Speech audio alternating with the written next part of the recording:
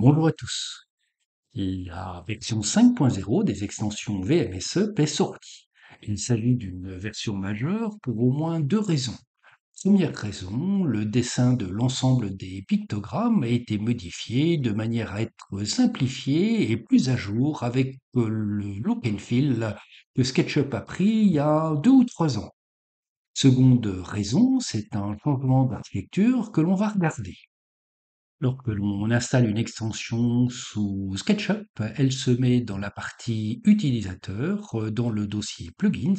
Ici, j'ai mes plugins et j'ai donc un dossier VMSUP extension qui est là et qui va comporter donc l'ensemble des ressources de l'extension. Il y a deux dossiers qui sont importants. C'est le dossier param qui va sauvegarder toutes vos valeurs par défaut, à la fois des outils et également du menu et d'autre part un autre dossier qui s'appelle Tools et qui va comporter l'ensemble des dossiers pour les pièces d'assemblage, les pièces de quincaillerie, les fers d'usinage ou éventuellement tout ce qui est vis. Ces deux dossiers ont été dans les versions suivantes remontés sous le dossier SketchUp à côté de plugins et des materials. Les matériaux, c'est là où vous allez stocker vos propres matériaux deux dossiers vont être euh, générés automatiquement. Le dossier VMS Param qui va comporter donc l'ensemble des paramétrages de votre logiciel et d'autre part le, dossier Tools qui va comporter donc l'ensemble des pièces d'assemblage de quincaillerie ou de vis que vous avez définies ou qui ont été livrées avec le logiciel. Pourquoi un tel changement? Lorsque je vais dans Extension, et que je vais dans l'extension Warehouse de SketchUp. Je suis donc sur le site de Timbal. Je vais charger VMSUP. Je clique. J'ai la version VMSUP ici. Et je peux donc, grâce à cette boîte dialogue, l'installer. La procédure d'installation sous plugins va aller dans VMSUP extension, effacer tout ce qu'il y a et le remplacer par la nouvelle version. On efface donc tout ce qui est dans Tools, on efface donc tout ce qui est dans Param, et si vous aviez fait des paramétrages, vous allez les perdre, et si vous aviez créé de nouvelles quincailleries ou de nouveaux dominos, vous allez également les perdre. C'est relativement fâcheux, c'est pour ça que, avant d'installer une nouvelle version, prenez soin de sauvegarder ce dossier Tools ici et ce dossier Param, de manière à pouvoir les conserver. À partir de la version 5.0, les paramètres vont venir dans VMSUP Param et toutes les pièces de quincaillerie, de vis, d'assemblage, etc. vont venir dans VMSUP Tools, c'est-à-dire que lorsque vous allez charger une nouvelle version à partir de l'extension Warehouse dans SketchUp, vous n'allez plus écraser vos données.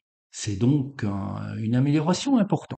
Pour éviter de perdre des données, allez dans votre navigateur Internet, sélectionnez SketchUp extension Warehouse, sélectionnez cette fenêtre-ci et vous allez pouvoir taper VMSUP de la même façon, obtenir le lien sur les outils VMSUP, cliquez sur ce lien et la différence est la suivante, c'est que au lieu d'installer, vous allez télécharger la version, j'ai download qui apparaît et en téléchargeant cette version, vous allez donc la stocker sur votre dossier téléchargement et une fois le dossier chargé, vous allez aller dans gestionnaire d'extension, installer l'extension, aller dans votre dossier téléchargement, sélectionner le RBZ et donc l'installer. Cette procédure a deux avantages. Un, vous allez pouvoir conserver le fichier RBZ. Le second avantage très important, c'est que ça va vous éviter d'écraser les dossiers tools et param par exemple. À partir de cette version 5.0 des outils VMSUP, le plus de problème puisque les dossiers VMSUP Param et VMSUP Tools ont été remontés et ne seront plus écrasés par les installations de nouvelles versions version 5.0 des extensions VMSUP comporte beaucoup de changements, notamment dus aux évolutions apportées par SketchUp 2024. Je rappelle simplement que quasiment toutes les commandes de, permettent, avec un clic droit-souris, d'afficher un menu contextuel qui va permettre par exemple de sauvegarder les valeurs par défaut. Et de la même façon, si j'appuie sur la touche point d'exclamation, Je vais afficher l'aide en ligne avec la signification des différents raccourcis clavier. Au, préalable, c'était dans une fenêtre tooltip.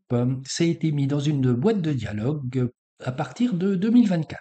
Cette aide en ligne est également valable pour euh, tous les autres plugins. Si ici, dans Rafale Tenon Mortez, j'appuie sur la touche point d'exclamation, je vois l'aide en ligne qui apparaît.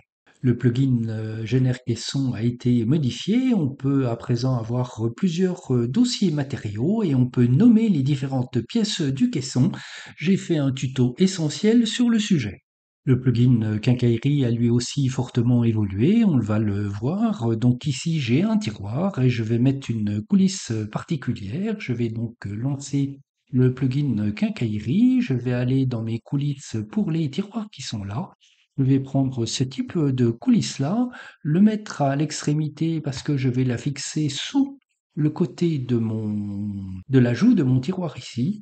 Je vais donc cliquer cet endroit-là. Ma coulisse s'est mise en place. Si je sors du plugin Quincaillerie, les attaches se sont lises sur le fond du tiroir et j'ai également gardé les percements. Sur ce tiroir, on va en faire un groupe et on va créer un caisson et regarder ce qui se passe. J'ai créé mon caisson et j'ai mis mon tiroir euh, de manière à ce que la police arrive contre ce montant-là. Le tiroir, je vais le rallonger. Je vais donc lancer le plugin étire. Euh, je rappelle qu'il s'agit d'un groupe. Et je vais lui dire que cette coulisse-là vient ici. J'ai donc rallongé mon tiroir.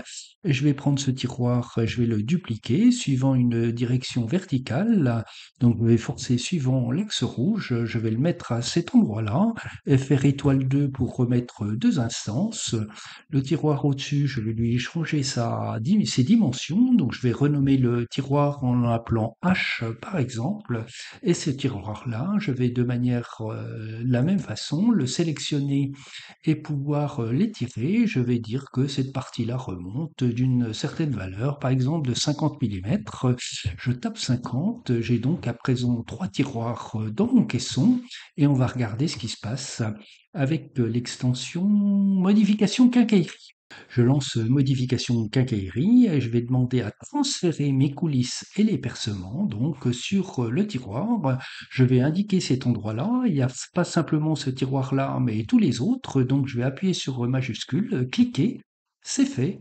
Et si j'enlève un tiroir, je vois que les coulisses se sont mises en place. Et si j'édite cette partie-là et que j'enlève ma coulisse, je vois que les percements se sont mis.